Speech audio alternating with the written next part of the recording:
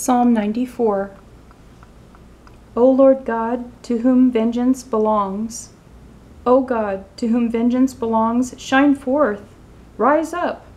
O Judge of the earth, render punishment to the proud. Lord, how long will the wicked, how long will the wicked triumph? They utter speech and speak insolent things.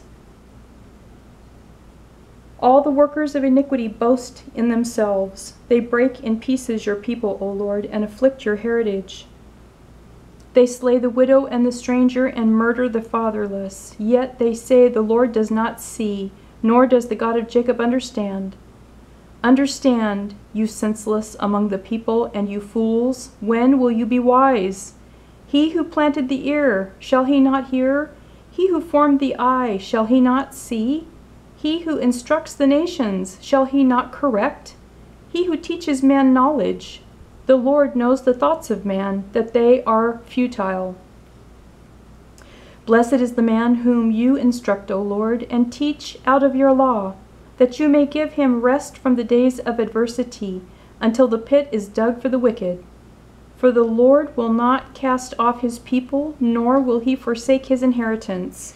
But judgment will return to righteousness, and all the upright in heart will follow it.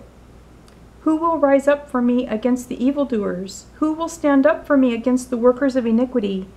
Unless the Lord had been my help, my soul would soon have settled in silence.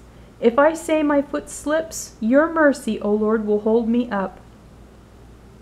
In the multitude of my anxieties within me, your comforts delight my soul. Shall the throne of iniquity, which devises evil by law, have fellowship with you? They gather together against the life of the righteous and condemn innocent blood. But the Lord has been my defense and my God the rock of my refuge. He has brought on them their own iniquity, and shall cut them off in their own wickedness. The Lord our God shall cut them off.